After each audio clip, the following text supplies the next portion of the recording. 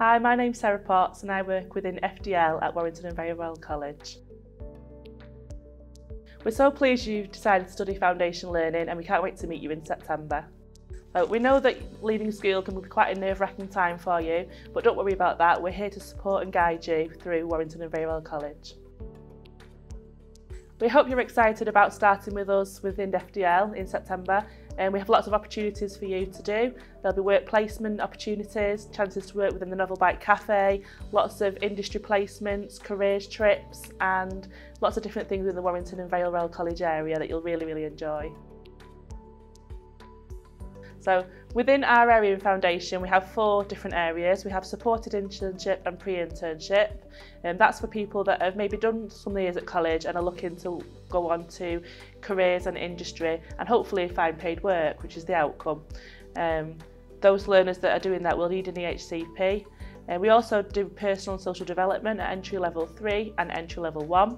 Um, on that course, that's all about life skills and employability skills. It's a really nice course. We also do vocational studies within entry 3 and level 1 and that is for learners that have maybe not quite got the grades at school but need to come into college and to evidence what they can do within that first year.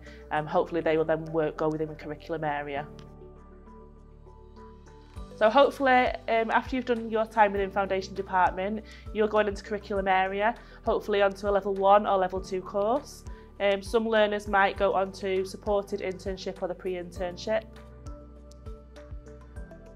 So recently PSD have been on some trips to National Trust Tatton Park, they've been to Delamere Forest, um, we've been to Krispy Kreme's at the Trafford Centre for a careers visit, and um, we've also done um, industry talks on Robert's Bakery, which is a local Winsford company.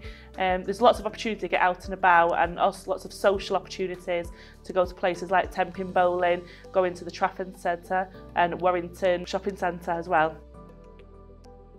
If you'd like any information um, on the courses or would like to come and visit, you could come on Tuesday the 4th of July to have a little taster or find out a little bit more about the course. Or if, if you can't make that day, you could also contact the college at any time and we'll be happy to talk to you and let you give you the information that you need to know about the course. So we wish you best of luck with your GCSE exams and we hopefully will see you in September.